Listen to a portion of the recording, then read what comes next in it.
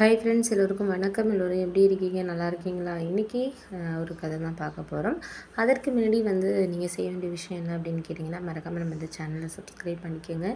கீழே இருக்க பெல் பட்டனையும் கிளிக் பண்ணுங்கள் அப்போ தான் நான் போடுற வீடியோஸ் எல்லாமே உங்களுக்கு உடனுக்குடனே நோட்டிஃபிகேஷன் வரும்.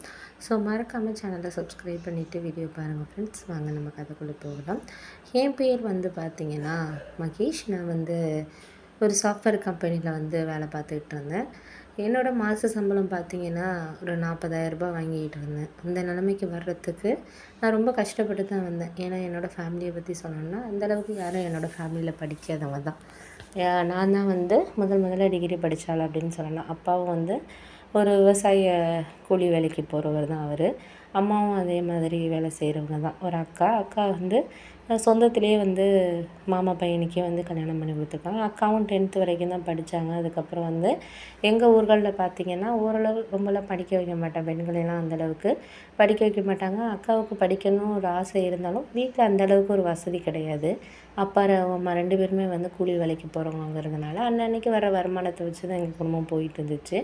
நான் வந்து பன்னெண்டாம் வகுப்பில் வந்து நல்ல மார்க் எடுத்திருந்தேன். அதனால் வந்து ஆசிரியர்கள்லாம் சேர்ந்து எனக்கு வந்து ஒரு எங்கள் ஸ்கூல்லேயே வந்து ஒரு ஃபண்டு எல்லாம் வந்து இது பண்ணி கலெக்ட் பண்ணி எங்கள் ஸ்கூலில் எப்போதுமே வந்து என்ன பண்ணுவாங்கன்னா யார் நல்ல மார்க் எடுக்கிறாங்களோ அவங்கள வந்து பக்கத்தில் உள்ள ஒரு காலேஜில் வந்து நல்ல என்ன படிப்பு கேட்குறாங்களோ அதுக்கேற்ற மாதிரி அவங்க வந்து இங்கே உள்ள காலேஜில் பேசி. ஏன்னா அந்த காலேஜோட ஓனர் வந்து எங்கள் ஸ்கூலில் படித்து தான் இந்த அளவுக்கு ஒரு காலேஜ் வைக்கிற அளவுக்கு இருக்கிறதுனால வருஷத்துக்கு ஒரு ரெண்டு மாணவர்களை வந்து செலக்ட் பண்ணி அந்த காலேஜில் வந்து ஃப்ரீயாகவே வந்து படிக்க வைக்கிறது மாதிரி இது பண்ணியிருந்தாங்க. நான் வந்து நைன்த்து படிக்கிறதுலேருந்தே பார்த்தீங்கன்னா எனக்கு முன்னாடி உள்ளவங்கலாம் வந்து ஒரு ஒரு அண்ணங்க வந்து எங்கள் தெருவிலே இருக்கிறவங்க.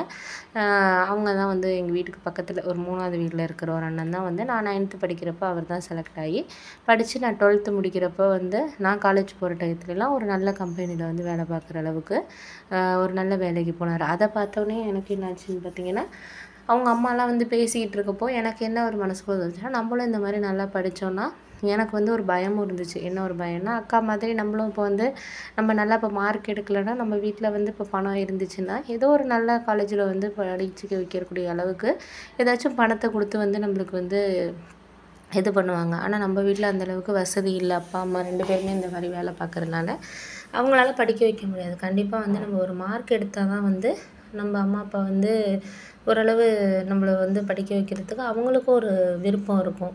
ஏதாச்சும் ஒரு ஓரளவு மார்க் எடுத்தோன்னா கூட ஓரளவு வந்து பணம் கட்டுற மாதிரி ஏதாச்சும் காலேஜ் கிடச்சிச்சின்னா கூட அவங்களுக்கு ஒரு ஏதாச்சும் வந்து கடன் வாங்கினாச்சும் நம்மளை படிக்க வைப்பாங்க.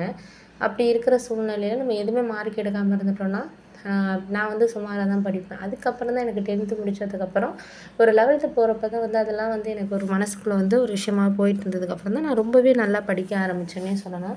லெவல்த்துலேயும் ஓரளவு நல்ல மார்க்கு டுவெல்த்துலேயும் வந்து எங்கள் ஸ்கூல்லேயே நான் தான் ஃபஸ்ட் மார்க் எடுத்தேன். எனக்கு ரொம்ப அதை நான் எதிர்பார்க்கல. ஆனால் நான் வந்து ரொம்ப ஒரு முயற்சி பண்ணி தான் வந்து படித்தேன் இரவு பகலாக படித்தேன்னு சொல்லலாம். ஆனால் வந்து நான் ஃபஸ்ட் மார்க் எடுப்பேன் அப்படின்னு சொல்லிட்டு நான் எதிர்பார்க்கல. என்னோட நிறைய மாணவர்கள் நல்லா படிக்கிறவங்க இருந்தாலும் எனக்கு அந்த வாய்ப்பு கிடைச்சிச்சு. அதுக்கப்புறம் என்ன நானும் இன்னொரு மாணவன் ரெண்டாவது மார்க் எடுத்த பையனையும் என் ஆசிரியர்களாக சேர்ந்து வந்து காலேஜுக்கு வந்து நீங்கள் படிக்கிறீங்களா? எப்படி என்ன விருப்பம் இருக்குது அப்படின்னு நான் சொன்னேன் இது மாதிரி எனக்கு வந்து ஒரு பிஎஸ்சி கம்ப்யூட்டர் சயின்ஸ் படிக்கணும் அப்படிங்கிற மாதிரி விருப்பம் சொன்னேன். ஏன் அப்படின்னா அது படித்த ஏதாச்சும் ரொம்ப கம் சிஸ்டம் ரிலேட்டடாக ஒரு ஒர்க்குக்கு போகலாம் அப்படிங்கிற ஒரு இது நாலேஜ் எனக்கு இருந்துச்சு.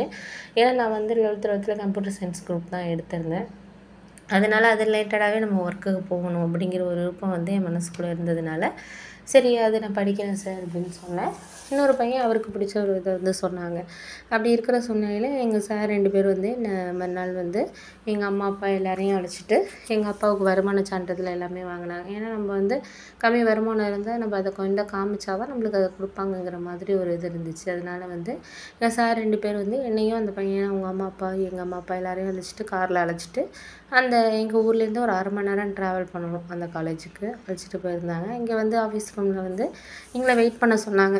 எங்கள் அம்மா அப்பாவுக்குலாம் அது புதுசாக இருக்குது ஏன்னா இது வரைக்கும் அந்த மாதிரி ஒரு பெரியவங்க பெரிய ஒரு காலேஜுக்கெல்லாம் வந்து அவங்கெல்லாம் வந்து எதுக்கும் போனதில்லை. ஏன்னா முதல் முறையாக எங்கள் வீட்டிலேருந்து நான் தான் காலேஜ் படிக்க போகிறேங்கிறதுனால அம்மா அப்பாவுக்கு வர்றதுக்கே ஒரு தயக்கமாகவே அப்படியே யோசிச்சுக்கிட்டே தான் இருந்தாங்க. நாங்களாம் எதுக்கு அப்படின்னு தான் ஃபஸ்ட்டு கேட்டாங்க. அதுக்கப்புறம் எங்கள் சார்லாம் வந்து நீங்கள் வந்தால் தான் வந்து சீட் கிடைக்கும் உங்கள் பையனுக்கு. நீங்கள் வந்து பேசணும். ஏன்னா இங்கே ஃபார்ம்லாம் வந்து கொடுத்தாங்கன்னா நீங்கள் தான் சைன் பண்ணணும். இங்கே உங்கள் ஹெட்டாக இருக்கிறவர் வந்து உங்கள்கிட்ட தான் பேசுவார். உங்கள் குடும்ப சூழ்நிலையை பற்றி அதனால் நீங்கள் வந்தால் தான் சரியாக இருக்கும். அப்படின்னு சொல்லிட்டு எங்கள் சார்லாம் வந்து எடுத்து சொன்னதுக்கப்புறம் தான் எங்கள் அம்மா அப்பா ரெண்டு பேரும் வர்றதுக்கே சம்மதிச்சாங்க. அதுக்கப்புறம் என்ன ஆணுச்சு அப்படிங்கிறத அடுத்த பகுதியில் சொல்கிறேன் ஃப்ரெண்ட்ஸ்